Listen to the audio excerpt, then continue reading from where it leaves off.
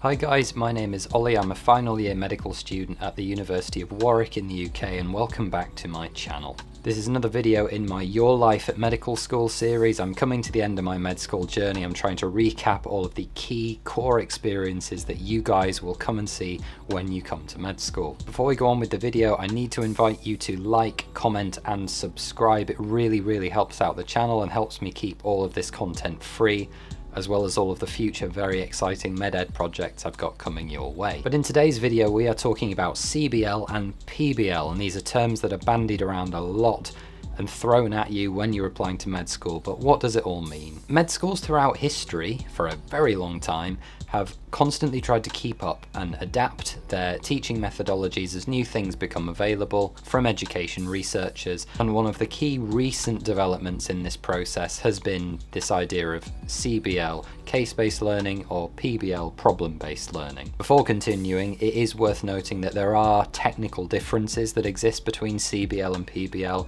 they're not really important for the focus of this video. They basically have some slightly different educational theory that underpins each of them, but for what you guys experience, they are functionally going to be the same. And we can discuss both together in this video to keep things simple. And all of this kind of begs the question, right, why do we go on about the idea of CBL and PBL? We don't make a big deal about lectures or kind of hospital placements to the same extent that medical schools will go on about CBL and PBL? Well, I think in order to understand that, we need to appreciate that throughout history, most medical teaching that's been done all across the world has been didactic. That is, you fill a lecture hall with students who need to learn something, you put a lecturer, be that a doctor, an academic, a surgeon, a psychologist, whatever you like, pop them at the front of the lecture hall, and they talk to all of the medical students for an hour and then everyone goes home. Hopefully in that time they'll have covered whatever they need to know in order to meet their learning objectives for that session. This does remain an effective teaching style, there is no alternative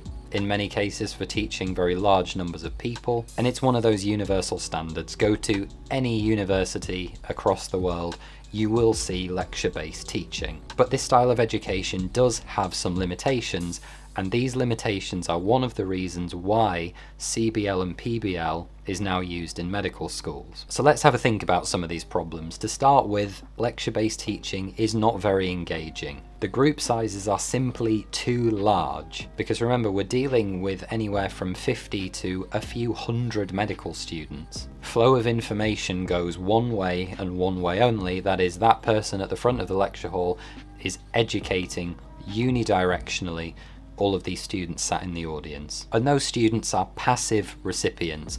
There may obviously be times when people raise their hands to ask questions or the lecturer might pick on people in the audience to answer questions, but those will only be an eager few people. For 99% of the people in the audience, they will sit there, not say anything, experience the lecture or the presentation, whatever it is, and then leave without ever having really activated their brains. And the other major problem with this is that it is entirely leveraging the person at the front, their slideshow, their presentation.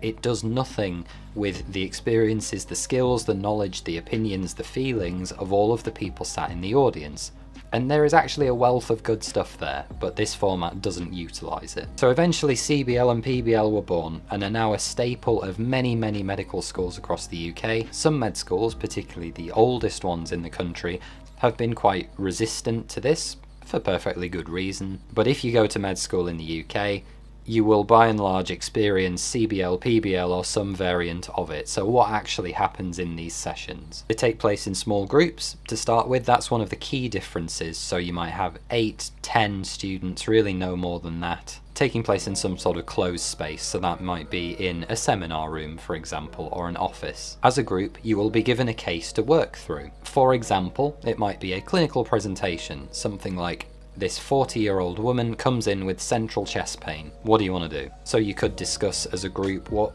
history questions you might want to ask them. What specific cardiac risk factors do you want to know about? Have you established their smoking history? Do they have any family history of cardiac disease? As a group, you then may consider the preliminary investigations you would like to do. Can we get an ECG? Can we get an echocardiogram? Are you actually familiar, all of you in your group, with the blood supply to the heart, the anatomy of all of the coronary arteries and veins? Do you know how those things relate to an ECG? Can you all read an ECG? Is it worth all of us recapping this together on a whiteboard? If we're really struggling, should we call it a day for now, set ourselves some homework, come back and present next time? And this is essentially how CBL goes, or at least it did for me. You're slowly working through a series of steps to investigate and manage a case. And the focus that your med school wants you to hit could be on anything. It could be to do with medical ethics, it could be a particular themed area of medicine, anatomy, physiology, pharmacology, all of it. But note that I keep saying you here, or the royal you, the royal we, and this is really important because whereas in a lecture you normally have one authority figure, the person delivering the presentation or the lecture, in CBL and PBL, you, the students, are actually the ones in authority, in power. It's a sort of flipped hierarchy. You have the control to direct and modify the sessions according to your own needs in your small group. There will virtually always be a facilitator, which again might be a doctor, a lecturer, an academic, a scientist, in the room watching you and maybe asking you some questions as you go, but their role is usually only to keep you on the right track, make sure that you're not going down a crazy rabbit hole, which is very possible, when investigating medical topics, and making sure you're hitting any learning objectives that you need to hit during the session, but they should not be directing or demanding particular ways for you guys to spend your time. That's not how CBL is designed. And again, as another key difference, you will find that people can speak from their own lives, their own experiences, much, much more. This might be cases that you've seen on the wards, this might be professional experience if people have come from a clinical background, personal experience perhaps of knowing someone maybe in your family who's dealt with a particular condition, or you might have a health condition yourself, and therefore you're an expert on the patient perspective. There is this huge wealth of knowledge, like I was saying before, that can only come out under these circumstances. CBL is a catalyst for you to bring out and develop that knowledge. It also allows you to work out your strengths and weaknesses and work to combat them. I, for example, really suck at pharmacology. I mean, I don't suck at it. I pass my final exams and all my prescribing exams, but I really don't enjoy it and it doesn't come to me naturally. So therefore, I was always keen to ask the people in the group who were good at pharmacology, I would say, guys, I'm really struggling with this, I don't get it. Can someone who does get it please maybe teach us all or go through it so that I can try and understand it. Equally, if it came to something like anatomy or neuroscience, both of which I'm really passionate about and really engaged with, I would tend to lead the teaching or the sessions that had to do with these subjects and could keep us on track in those sessions. And that's the joy of CBL and PBL, at least it was for me. It's your time to do whatever is best for your learning. Be the masters of your own educational destiny and make sure you embed the information somehow because ultimately that's basically what medical school is all about anyway. Embed the information and be able to regurgitate it in an exam However you do it is up to you. And developing these collaborative learning skills early on is not only really good for your own learning and will help you to pass those exams when the time comes, but actually it's a really good reflection of the multidisciplinary teams and the ward teams that we will all need to work as part of as doctors. And it's also the time to make mistakes because it's a small group, safe environment, and people are there to help you. It is a collaborative learning culture. And speaking of culture, this is a group of people that you will become really good friends with. One way or another, you'll be spending a ton of time around each other. You'll be bouncing ideas off each other during these sessions and learning from each other. And certainly in my case, they've become really good friends that you'll take with you through your medical school journey. On the screen now are some pictures of the Christmas celebrations from my first year CBL at Warwick all those years ago, back in 2017. And I think it's fair to say that we've remained really good friends, even though we've been separated by rotations and moving around and even changed CBL groups. You'll recognise Zaynah um, in some of those pictures there. We were in CBL together. She's got her own YouTube channel and really good Instagram account link to those in the description, go and check her stuff out. But just to round up this video, is CBL going to be for absolutely everyone?